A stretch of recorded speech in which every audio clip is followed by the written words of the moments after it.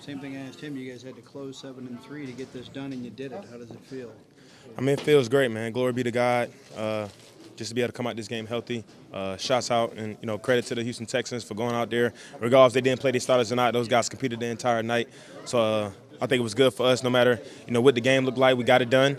Uh, nine and seven doesn't matter how you get into the party, but now we're in the tournament, so you know we're definitely gonna have to go on the road and play our best ball against the Patriots, against Brady, and uh, I'm super excited to go back up there and get another chance to go try to go beat him at his home uh, at his home stadium. So it's gonna be super fun. We're gonna try to have a great week of practice and uh, do what we need to do to go out there and get a W. What do you like about that challenge? Going up there as the, you know, the heavy underdog, the defending champions.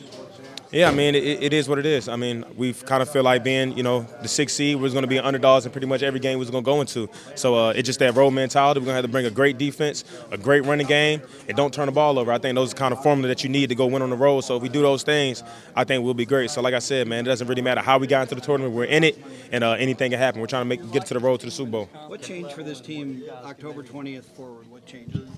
Uh, man, I, I think we just really start rolling. I mean, I think our offense started playing very well. Uh, those guys have been doing great. Derrick Henry, leading rusher in the NFL. Uh, Tannehill, highest passer rating. I mean, those guys have been playing great. A.J. Brown, 1,000 yards. I mean, we have some elite guys on offense.